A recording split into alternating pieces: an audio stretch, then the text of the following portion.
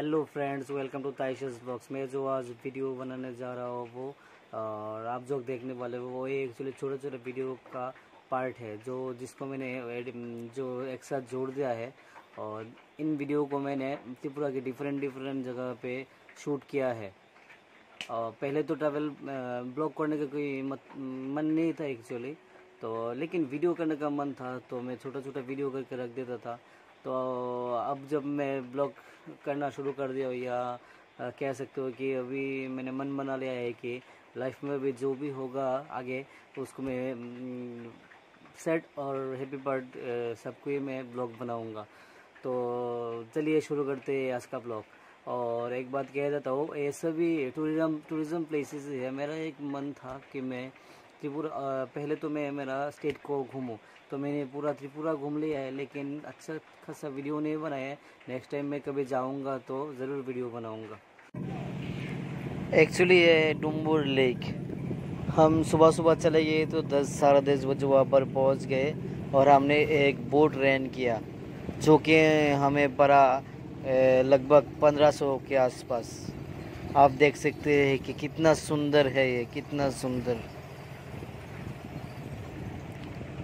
पूरा पानी ही पानी है। बोरे टापू है उस लेक के बीच बीच में एक टापू है बहुत सारा टापू है जिनमें लोग रहते हैं। उनके उन, उन, उनके आने जाने का एक ही ज़रिया होता है वो है बोट। उनके लिए कोई रोड नहीं होता वो सिर्फ़ बोट से आते जाते हैं। सबके घर के सामने एक एक बोट है जो लकड़ी का बनाया होता है। आप भी जाइए विज़िट करिए डूमबोर लेक बहुत ही अच्छा है। त्रिपुरा का एक मैं तो कहता हूँ, बहुत ही top ten top ten tourism में एक दो नंबर पे ही होगा ये।